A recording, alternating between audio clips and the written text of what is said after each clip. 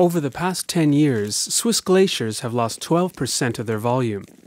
The Morteratsch Glacier in Pontresina, in eastern Switzerland, shrinks by 30 meters every year. The melting ice creates some fascinating ice caves inside the glaciers.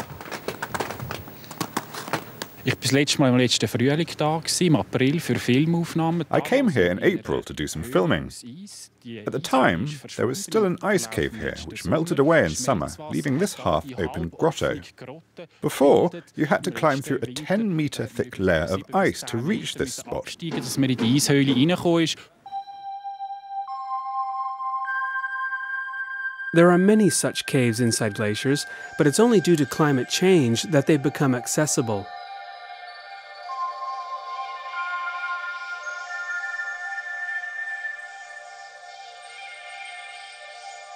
Die Höhle, die wir hier sehen im Hintergrund, das ist vor allem das Schmelzwasser. das Such caves are created by meltwater dissolving the ice. This cave system here did not exist last winter. It was only created in summer.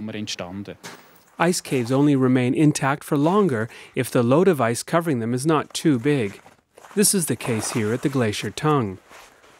As they melt, glaciers not only become shorter, but also considerably thinner. Currently, the mountain guides at the Morteratsch Glacier are building a wooden bridge leading inside the cave. Wir die Eisgrotze jetzt zugänglich machen. We want to make the ice grottos accessible to everybody. The grottos are so beautiful that people must have the chance to see them. The guides also work out safety regulations to ensure that people don't get caught should the roof suddenly collapse.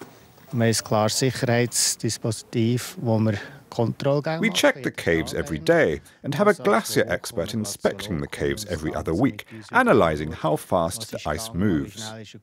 And of course, we keep people away from risky zones. But the days of this beautiful ice world are numbered. Eventually, it will melt away along with the glaciers.